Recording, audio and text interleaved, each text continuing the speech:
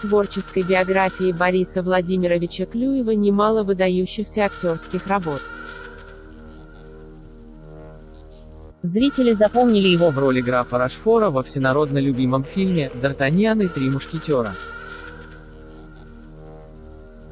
Помимо этого Клюев снялся во многих картинах, вошедших в золотой фонд отечественной кинематографии, среди них «Приключения Шерлока Холмса и доктора Ватсона», «ТАСС уполномочен заявить» и другие.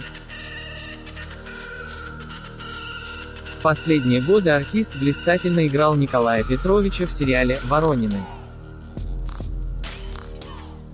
Он всегда выглядел энергичным и бодрым, и мало кто из зрителей подозревал о его тяжелой болезни.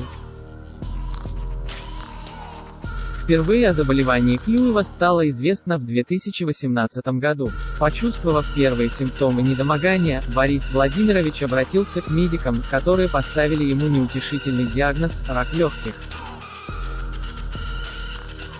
И артист начал продолжительную борьбу с онкологией. Он периодически ложился в больницу и делал необходимые процедуры. Никто из окружающих и заподозрить не мог, с каким трудом дается Клюеву каждый съемочный день, каждый выход на сцену. Но Борис Владимирович не был приучен жаловаться. Да, я болен. Знаете, я всегда был физически сильным, до 65 лет поднимал штангу, играл в футбол, большой теннис. И однажды, когда вдруг почувствовал, как что-то закололо в легком, я не обратил внимания и продолжил репетировать спектакль. Два месяца я ходил на работу в театр с двусторонним воспалением легких. А когда совсем стало нехорошо, температура 39 и прочее, сделал рентген. Тогда-то мне и сказали о болезни, поделился Клюев со зрителями в эфире программы «Судьба человека». Борис Владимирович неукоснительно соблюдал все предписания врачей в надежде, что тяжкий недуг отступит.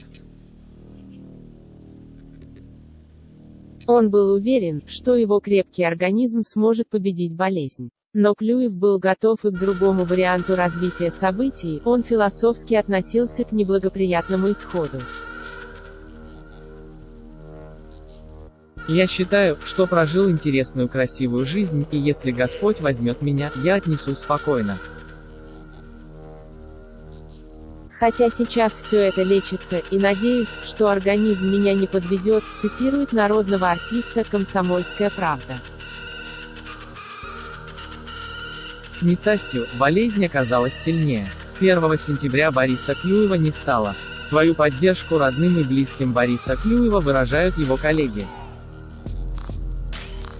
Екатерина Волкова, Елена Яковлева, Александр Алешко, Татьяна Кравченко, Ефим Шифрин и другие звезды почтили память народного артиста в социальных сетях.